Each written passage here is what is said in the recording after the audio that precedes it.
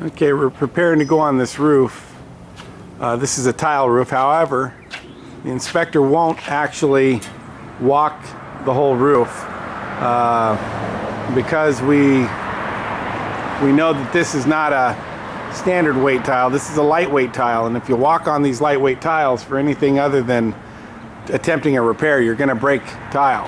They're uh, they're ladder inspection roofs. We do it from the ladder only, and uh, other than that, uh, we always recommend for for uh, you know all the home inspectors, the uh, and the homeowner or home buyer uh, not to walk on these roofs because you will break tiles. And I think right to the left of him, there's a tile there that's askewed that uh, appears to be broken on his left side. You see that tile that looks a little out of position there.